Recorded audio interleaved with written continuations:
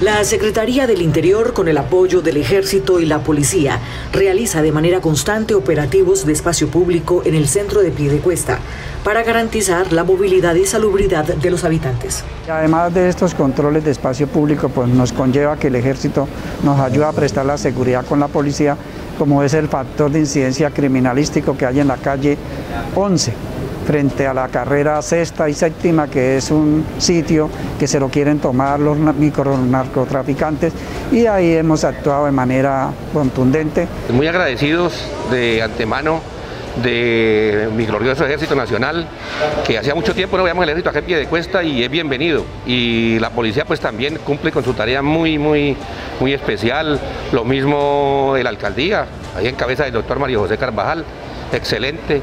Han ordenado muy bien el espacio público porque esto era un caos los días, los fines de semana y todos los días era un caos.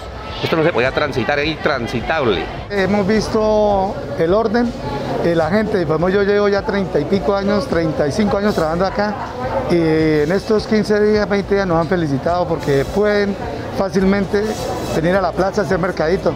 Yo no he visto de qué tal es esto acá, no hay este, tanto malandro, no hay ese desorden que había. Estos controles se intensificarán de cara a la Semana Mayor.